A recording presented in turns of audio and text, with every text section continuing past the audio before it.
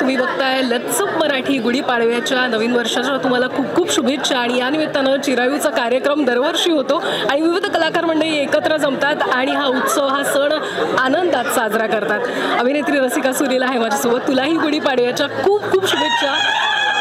सुंदर पारंपरिक वेशभूषेत आली आहेस तू. नथ चंद्रकोर कंप्लीट आहे ते सगळं.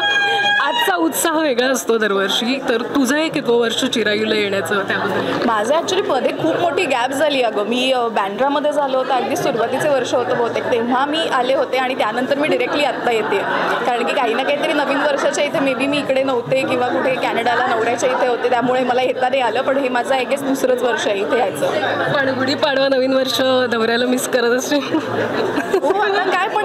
पर्याय नाही ना. आम्ही ठरवलंच आहे ते. आमच्या आम्ही सोडवून घेतलं अंगावरती की लॉंग डिस्टन्स मॅरेज करायचं त्यामुळे आता आहे असं. पण असे सण उत्सव कशा पद्धतीने साजरा करते. कारण यू मेक शुअर की काही ऑनलाईन करता येईल किंवा काही करता येईल. सगळं सगळं व्हिडिओ कॉलवर म्हणजे ज्या वेळेला आम्ही घरी गुढी उभारत असो तोपर्यंत त्याला मी सांगते की त्या त्या वेळेला तू संध्याकाळी तुझ्या घरी जी काय वेळ असेल कुर्ता घालून बस. मग त्याला एक व्हिडिओ कॉलवर सगळीकडे. मग फोटोज पण आमचे सगळे तसेच येतात की तो फोन इकडे व्हिडिओ कॉलवर आहे त्याचा व्हिडिओ आहे आणि माझा फोटो आहे. असं येतं. पण दरवर्षी घरात तू कशा पद्धतीने गुढीपाडवा साजरा करतेस? तू स्वतः किचनमध्ये जाऊन गोडधोड बनवतेस? की आई काय बनवणार याची वाट बघतेस. झालंय असं की माझं लग्न जरी झालं असेल तरी माझा संसार अजून सुरूच झाला नाही आहे कारण की माझा नवरा इकडे नाहीच आहे. त्यामुळे किचनमध्ये जाऊन काही बनवणं किंवा नवऱ्याला काय गोड आवडतं ते त्याच्यासाठी आवर्जून बनवणं ही गोष्ट अजून माझ्या हाती आलीच नाही आहे त्याच्यामुळे मी घरी काय मी घरी आता गुढीपाडव्याच्या दिवशी गुढी उभारणे हा प्रकार मला प्रचंड आवडतो. त्यामुळे मी त्यात जेवढी काही मदत जमेल ती करते. आणि त्यानंतर त्यावरचे जे बत्तासे आपण घालतो गुढीला ते खाण्याचं काम मी फार छान करते. त्यामुळे that is something I do पण गुढीपाडव्याच्या निमित्तानं तू ठाण्याचीस तर ठाण्यातही शोभायात्रा असते किंवा डोंबिवलीत तर तू कुठे असं गेली आहेस का शोभायात्रेला तुझ्या मित्रमंडळींसोबत किंवा तर त्या आठवणी डोंबिवलीच्या शोभायात्रेत गेले. मी ठाण्याच्या शोभायात्रेत नाही गेले अजून पण डोंबिवलीची शोभायात्रा अगदी आमच्या घराखालनंच जायची. म्हणजे मला गॅलरीतनं दिसायची. त्यामुळे कधी कधी असं व्हायचं की प्रत्येकच वर्षी काय लवकर उठले लहानपणापासून असं व्हायचं नाही. त्यामुळे कधी कधी असे डोळे हे करत करत वगैरे मी अशी शोभायात्रा पाहिली आहे हो एखाद दुसऱ्या वर्षी गेली आहे मित्रमैत्रिणींसोबत छान तयार वगैरे होऊन. पण हा हीच डोंबिवलीची जास्त आठवण.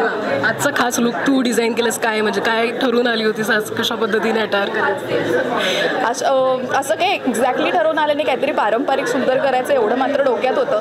त्यामुळे केतकी आज- आशिष जी स्टायलिस्ट आहे तिने आज हा सगळा आउटफिट मला रेडी करून दिला आहे अगदी म्हणजे हेअरपासनं ते ज्वेलरीपासनं ते कुठली टिकली घालू कुठल्या साईजची टिकली घालू सगळं तिने रेडी करून तिने मला पाठवलं आहे आज इकडे. अतिशय सुंदर दिसतेस तू.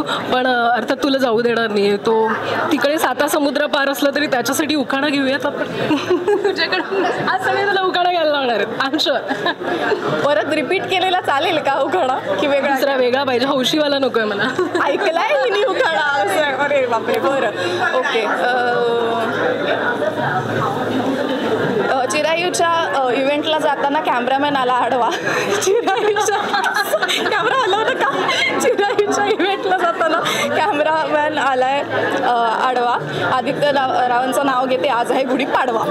हे काय जमतंय आज रसिका तुला ना? आज ह्याचे तू व्हेरिएशन्स देणार आहे गुढीपाडव्याच्या खूप खूप शुभेच्छा. Thank you so much thank you